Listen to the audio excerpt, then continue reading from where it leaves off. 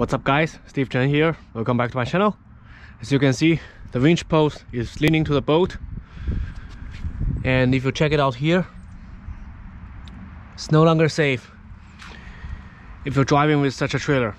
So in this video, I will show you how I remove the old piece and replace it with a new winch seat here.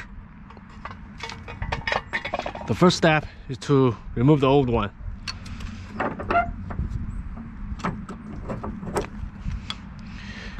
So let's try it.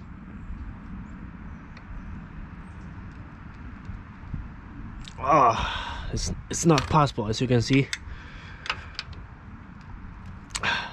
Let me try this one.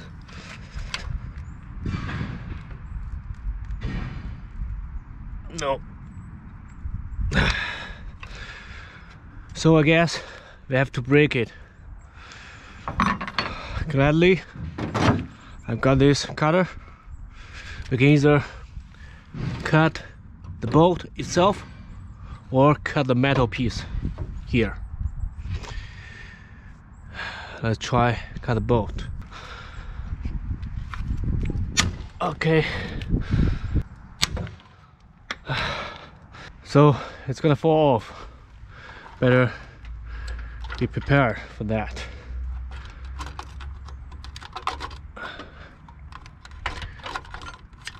so first we make sure we don't break the line the power line. Put it somewhere else.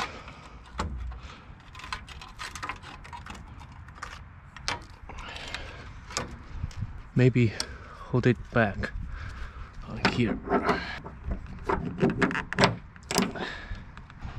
So before cutting the other side of the bolt we're making sure to disconnect the power line inside here.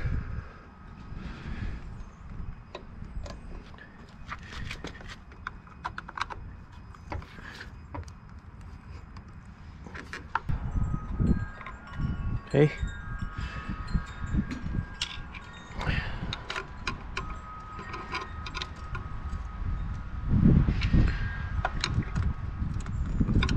okay that's one. Same for the other side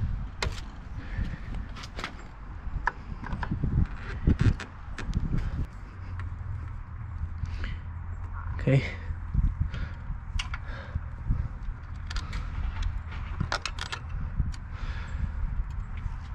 Now we can pull the line out.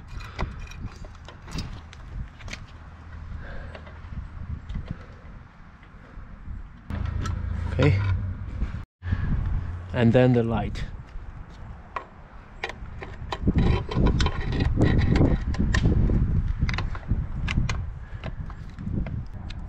okay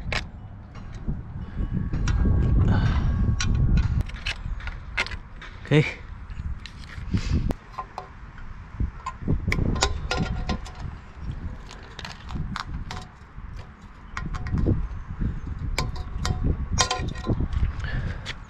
okay completely disconnected here.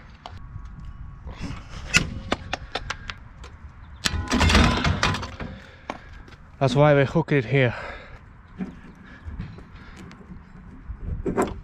All right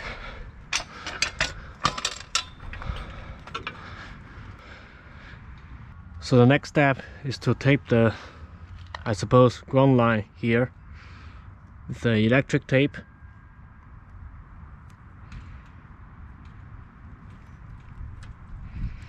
Same for the other side.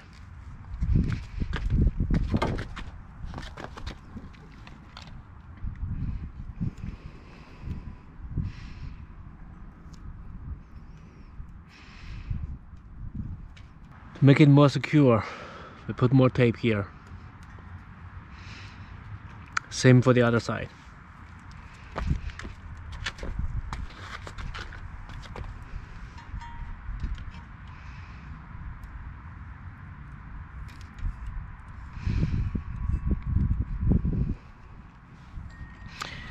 and then the light itself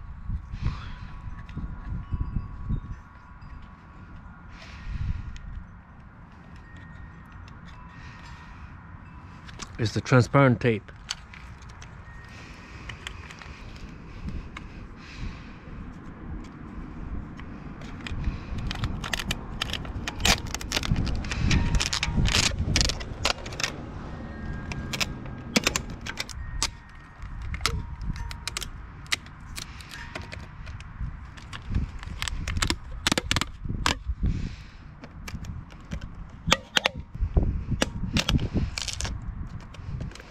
Okay, to check the connection, you want to turn on the light here and check the light.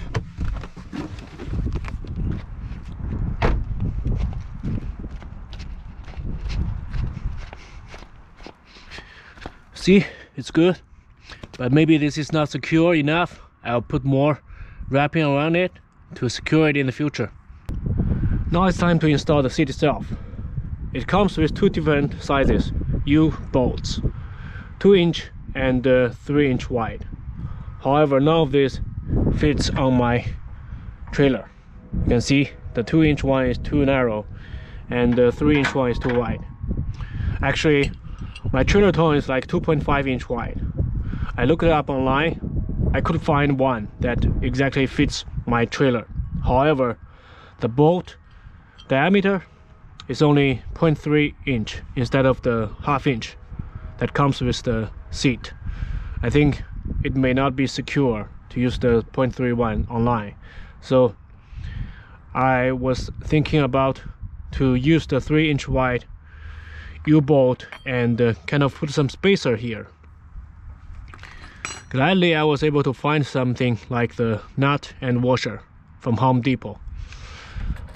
So if you put it here, you can see it fits pretty well.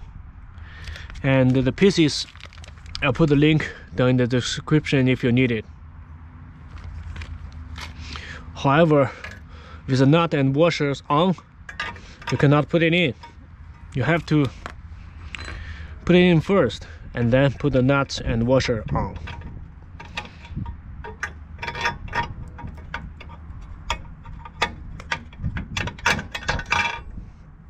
all right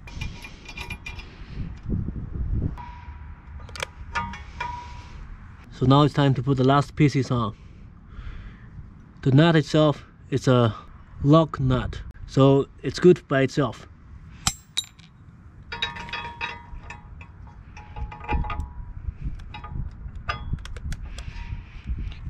The washer. The nut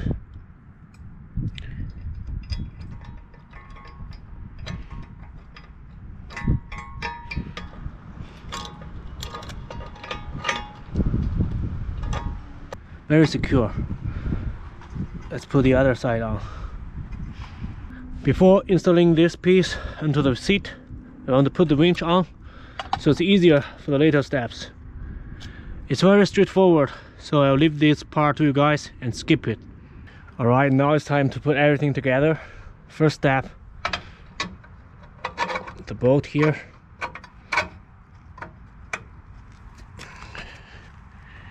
make sure it sits in. And then put our spacers on. Same for the other side. Right. So because of the weight of this piece it's not easy for a single person to hold everything down and put every pieces on. So I would suggest you find the best position here and put the bolt in first like here. Check the location. This is good. The other side. All right so now it's much easier to hold everything together here. Very secure. So the last step is to adjust the angle of this piece to make the roller above the ring the reason for that is you want the strap to go under and hold the boat on the trailer tightly. If you go above, there's no security, like the boat can go over the roller on highway when you're braking.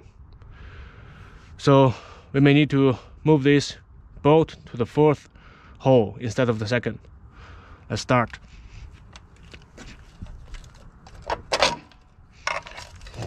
I think it should be good.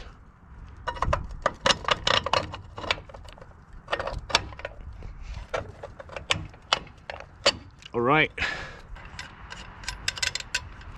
This is a three quarters inch socket.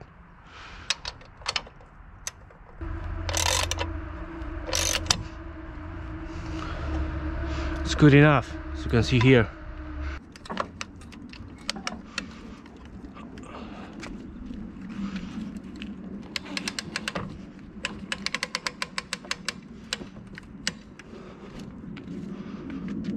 Now everything's good. I hope you guys enjoy watching this video and uh, find this helpful and I'll catch you in the next one.